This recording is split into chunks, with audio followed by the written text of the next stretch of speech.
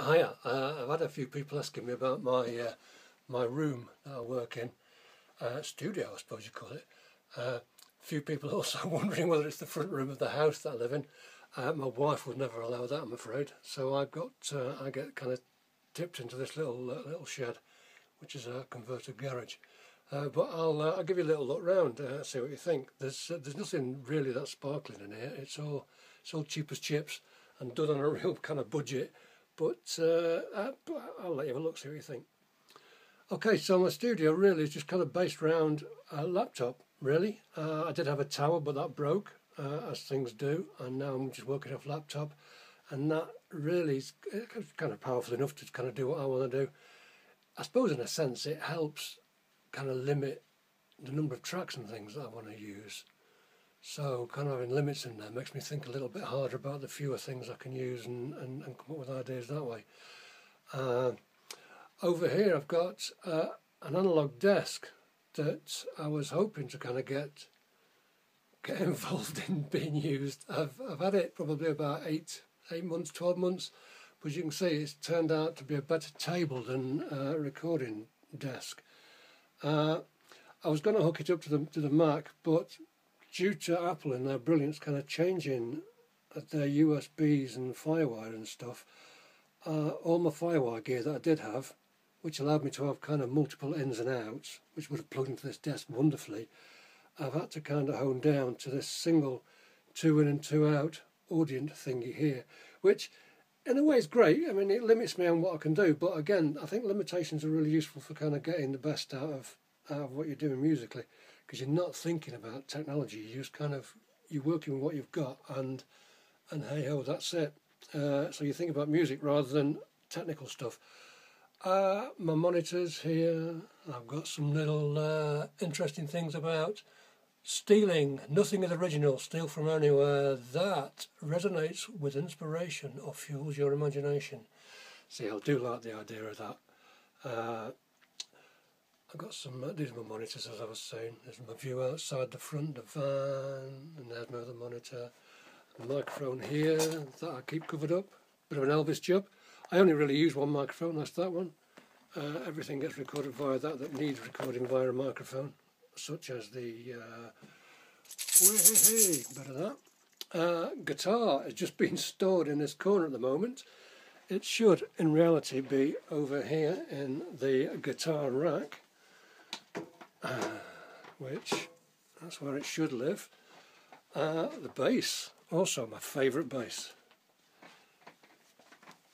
My little Squier bass with, I'm sure you've noticed, but I've got a sponge underneath there. Flat wound strings, horrible dead sound, nice and dark. Perfect for that kind of uh, that 60s kind of vibe, especially the uh, that kind of Motowny thump. Uh, cheap, cheap bass, cheap as chips. Here's my guitar. This is just a Harley Benton, which is from Thomann. I think that was less than 90 quid. 90 quid. Bloody hell, and I've made two albums on that now and some singles. Can't grumble, can you? A drum kit for when my neighbours go, uh, when they move out. They move out to Spain every uh, every winter. That means I can get the drum kit out and record some real drums.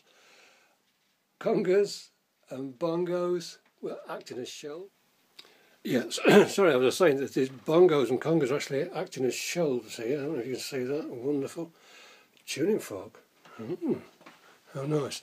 Anyway, here we go. Here's my shelves. I, I tend to use this as acoustic treatment. Oh, excuse me. Uh, I'm not sure what's happening, but my, my camera phone keeps uh, phone camera even. Keeps cutting out and, and stop filming so I'm having to kind of do it in, in little bits. Uh, well we've got to we've been to the congas we've seen the conga shelves.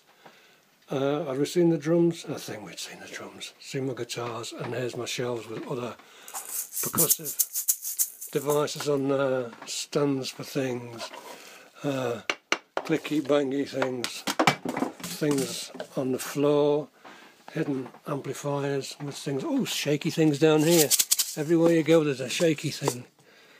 Of course, my kids love it. Uh, it's not going to stand there. Uh, and then we've got the piano. Uh, all instruments in the in the house uh, double up as shelves, as you can see. It's quite quite good.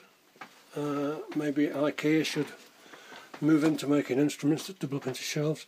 More shaky stuff. CDs from buddies of mine who've been making albums and stuff. Oh, nice get well card there. Put it on there. Pictures of the wife and the kids. Basil plant wanting a bit of water. Poor old thing. And here we have the outside view of M Towers. Not looking too shabby. Looking a bit rainy though. Uh, Amazon, we'll review with that Amazon. cables, masks, stock. Plenty of uh, CDs there. Uh, albums, no, no, albums, CD albums, singles, more CD albums, stuff falling down the back of my shelves, badges, get your Andre M badges. What we got down here? There we go, look. Another Andre M badge, stop thief type badge. Down the back again, I'll get that in a minute. And I've got just kind of posters and stuff like that, and CDs I've done with other bands that I've been a part of. And there's a nice MSAT one, look. Uh, Andre M one there. And I haven't got a Stop Thief one up yet. Let's do that sometime. Uh, and here is the wonderful stand I use to uh, film myself when I'm doing these splurges. You can see it's a right little scruffy hole down this side. Printer, tuner, gloves tingly hands. Headphones so when uh, I'm trying to work a bit quieter and not upset anybody. Uh, and I think that's it. oh, this is the keyboard that I tend to use. Uh, as you know, I'm not, uh, I'm not really a keyboard player, but it's something I've been kind of teaching myself and learning. Uh, I'm currently trying to learn how to play Green Onions two-handed. So that's that I'm getting there and then of course we've got but oh I wasn't even showing them was I? But I can't really play it for you with with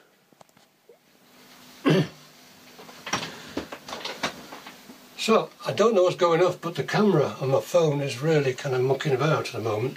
So I was I would, I'd started just kind of playing a little bit of green onions for you, showing you how I'm kind of learning it. Uh, uh, so I thought I'd just uh, give you a quick blast anyway. It ain't great, but it's getting there. I kind of see it as a, a three-year project.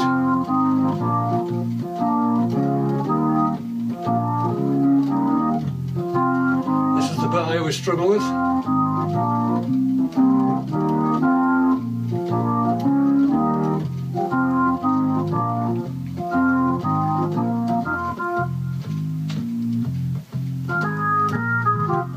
Oh.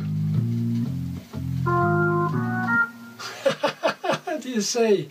It's because I'm doing it on camera, isn't it? But uh, it's getting there. And it's fab to play.